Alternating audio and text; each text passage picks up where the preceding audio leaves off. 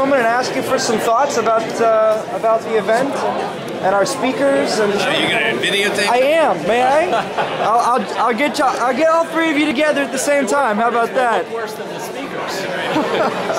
I thought they all did a great job. A lot of preparation obviously went into it. Uh, I thought it uh, was an excellent program. And I was pleasantly surprised. I thought that this was going to be a little bit boring, maybe uh, too technical, but above average, they did a great job. Three quarters of them, I think, were right on, and the other quarter were good.